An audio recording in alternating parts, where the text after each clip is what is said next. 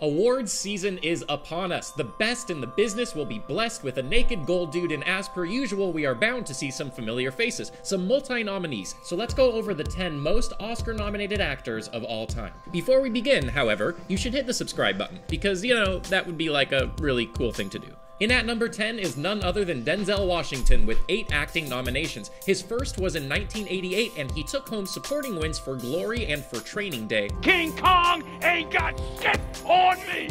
Then he has a slew of other iconic roles and a Best Picture nomination for producing Fences. Next is Jack Lemmon, again with eight nominations. His first win and nomination was in 1956 for Mr. Roberts, with another win for Save the Tiger. His other noteworthy nominated roles include Some Like It Hot and The Apartment. At number eight, we have Marlon Brando, again with eight nominations and two wins. His first nomination was for A Streetcar Named Desire in 52. Hey, Stella!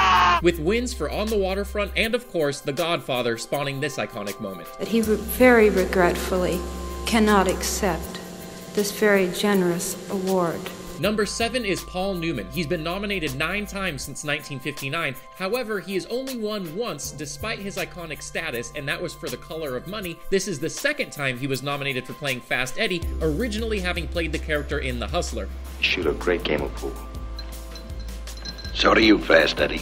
He also won an honorary award, but like, come on, we're not counting that stuff in this conversation. Number six, Spencer Tracy, nine nominations. He won two years in a row, first for Captain's Courageous and then again for Boys Town, though his most iconic role is arguably Guess Who's Coming to Dinner, which was his last nomination in 1968.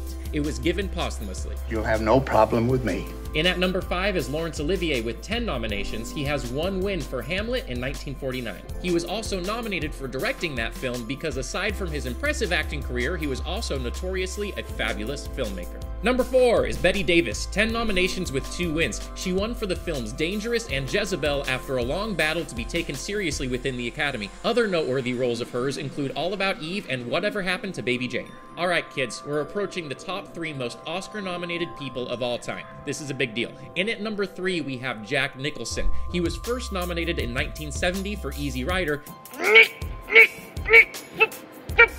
and since then, he's been nominated 12 times. He has taken home wins for One Flew Over the Cuckoo's Nest, Terms of Endearment, and As Good as It Gets. You make me want to be a better man.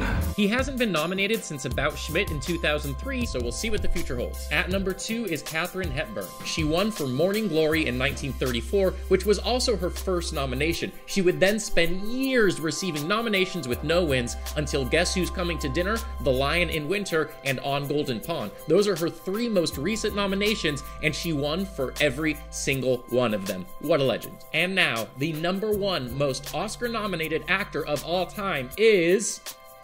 Meryl Streep. Are you surprised? I bet you're not. She has, ready for this? 21 nominations. Oh no. No, no. That's nine more than Hepburn in the number two spot, meaning there is no competition here, folks. She won for Kramer vs. Kramer, Sophie's Choice, and The Iron Lady. Her first ever nomination was for The Deer Hunter in 1979. Chances are this number is going to change very soon because she is not showing any signs of slowing down.